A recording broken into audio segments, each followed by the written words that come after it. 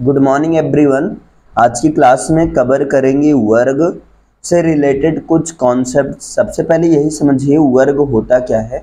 तो देखिए, वर्ग को स्क्वायर भी कहते हैं। चाहे आप स्क्वायर बोलो और चाहे आप वर्ग बोलिए, कोई दिक्कत नहीं है। तो किसी संख्या को स्वयं से गुणा करने पर प्राप्त गुणनफल को उस संख्या का वर्ग कहते हैं। जैसे अब यहाँ देखिए अगर दो का वर्ग, या मान लो मैं कह दूँ सात का वर्ग निकालना है तो सात को इन्हीं सात संख्या, इन्हीं सात से मतलब स्वयं से गुणा कर दो, है ना? और सात सता उनचास तो ये उनचास जो है, ये पूर्ण वर्ग संख्या कहलाएगी। लेकिन किस संख्या का वर्ग? तो सात का वर्ग कहलाएगी। इसको हम ऐसा भी लिख सकते हैं कि सात की घात दो। क्लियर है? इसी तरह दो की घात दो का मतलब दो दूना चार, है ना? और ज़ीरो का वर्ग का मतलब zero into zero means zero zero zero हो जाएगा, ज़ीरो मल्टीप्लाई ज़ीरो। अब आता वर्गमूल। यदि संख्या x का वर्ग x स्क्वायर है तो x स्क्वायर का वर्गमूल x को कहते हैं। मतलब वो किन संख्या से, वो वर्ग संख्या बनी है? जैसे चार। तो चार कहाँ से आया होगा? तो चार आया होगा, दो मल्टीप्लाई दो करने से। तो ये दो जो है, चार का वर्गमूल है। इसी तरह ज़ीरो का तो ज़ीरो ही होगा, है ना? समझ पाए अब यहाँ पर देखो, जैसे यहाँ फोर की पावर वन अपान टू है तो यहाँ वन अपान टू का मतलब होता है, क्या होता है? वर्गमूल। ये वर्गमूल का सिंबल है, वर्गमूल फोर और फोर का जो वर्गमूल होता है वो टू होता है और वन का वर्गमूल होता है वन होता है। अब आते हैं घन की बात करते हैं। किसी संख्या का घन, उस संख्या को तीन घात होती है, अर्थात जब किसी संख्या को आपस में गुणा किया जाता है, वो भी उसी संख्या से तीन बार तो प्राप्त मूल संख्या घन संख्या कहलाती है।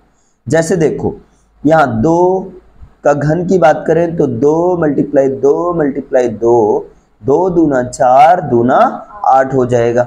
और इसको हम लिखेंगे दो की घात तीन। ओके? ज़ीरो की घात तीन का मतलब zero multiply zero multiply zero और ज़ीरो का मल्टीप्लाई करने पर ज़ीरो ही आएगा। एक की घात तीन का मतलब एक मल्टीप्लाई एक मल्टीप्लाई एक। और एक को मल्टीप्लाई मल्टीप्लाई करने पर एक ही आएगा। अब नेक्स्ट क्वेश्चन है, घनमूल क्या होता है? तो देखिए, घनमूल इसे जैसे वर्ग का जो सिंबल था, वही घनमूल का सिंबल है, लेकिन यहाँ पर थ्री लिख दिया जाता है घनमूल के लिए। ओके? से व्यक्त करते हैं सिंबल से व्यक्त करते हैं। यदि x की घात थ्री है ना? है तो वहाँ x की घात थ्री का घनमूल x होगा। क्यों? क्योंकि भैया, ये जो x की घात three x multiply x multiply x आया, ये अल्टीमेटली x से आया था, इसलिए x इसका घनमूल होगा। आगे अदर एग्ज़ाम्पल से देखते हैं इसको। अब यहाँ पर नेक्स्ट आता है घातांक और करड़ी। ठीक है?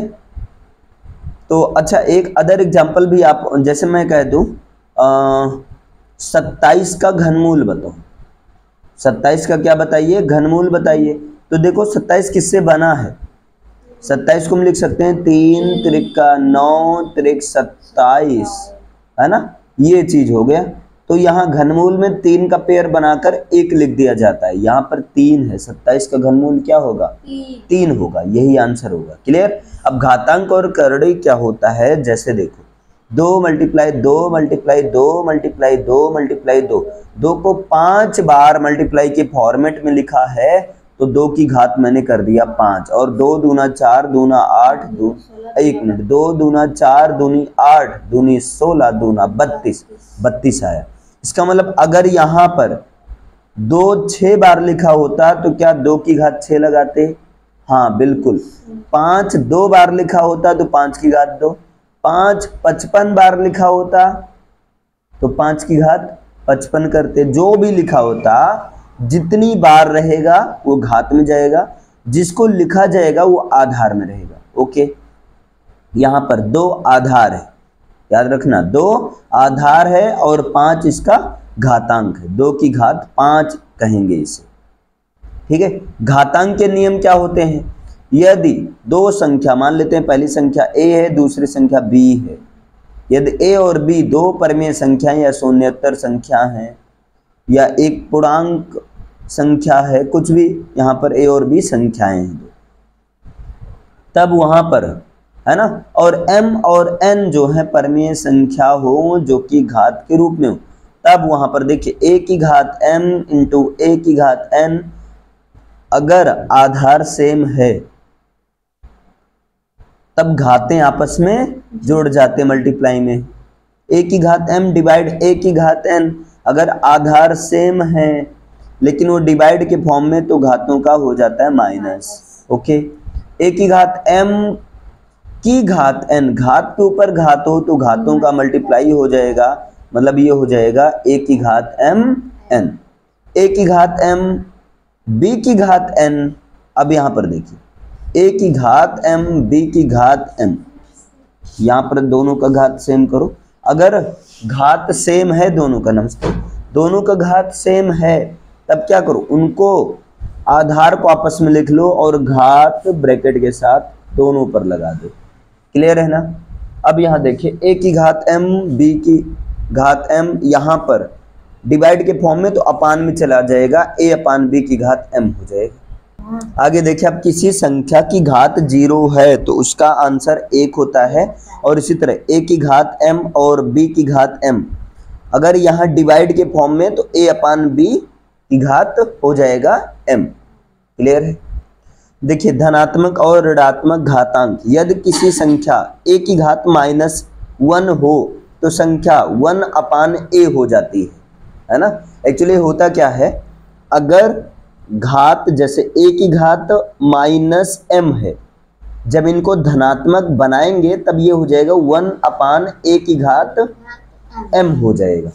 अब यहाँ माइनस वन ये भी हुआ वन ए की घात वन हुआ, लेकिन घात वन लिखा नहीं जाता है। इसी तरह ए की घात एम मान लो धनात्मक, है ना? इनको जब नीचे ले चलेंगे तो ए की घात माइनस एम यानी कि ऋणात्मक हो जाएगी। याद रखिएगा इसे। अब कुछ सूत्र हैं।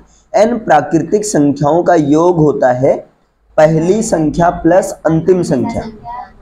अपान दो और गुड़े होता है एन होता है।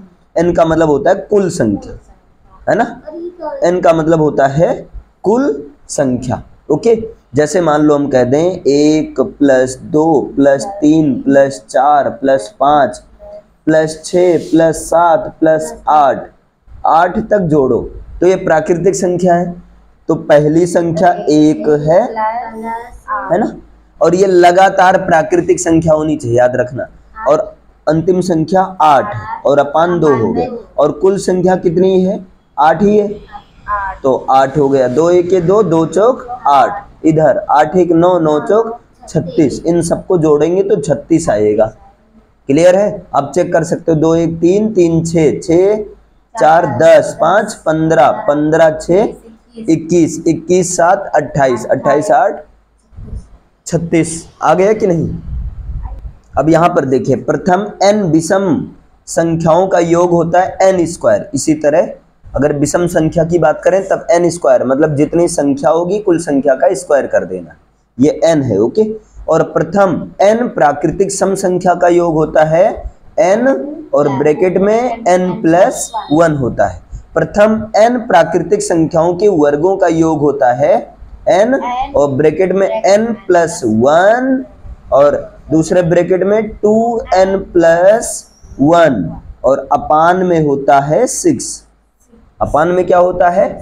सिक्स होता है। और प्रथम एन प्राकृतिक संख्याओं के घनों का योग होता है। एन ब्रेकेट में n plus one upon two और इनका होल स्क्वायर होता है। क्लियर है?